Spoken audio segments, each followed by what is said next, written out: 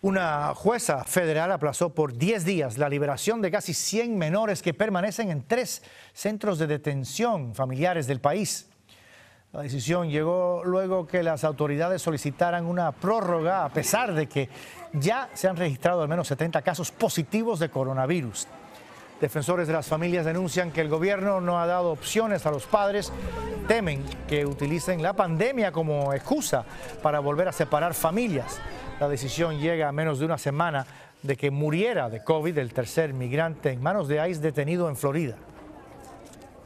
La vida de los niños no es un juego eh, y la situación que están pasando adentro es una situación que la OESA ya había declarado como una casa en fuego. O sea que ya tenemos muchas familias y niños, así que hay madres que son embarazadas, que ya tienen coronavirus de estar adentro.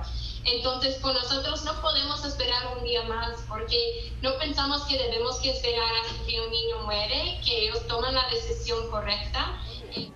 Activistas denuncian que los centros de detención son una bomba de tiempo. Al menos 3.000 migrantes bajo custodia se han contagiado, al igual que más de 900 empleados de los contratistas privados que administran los centros de detención.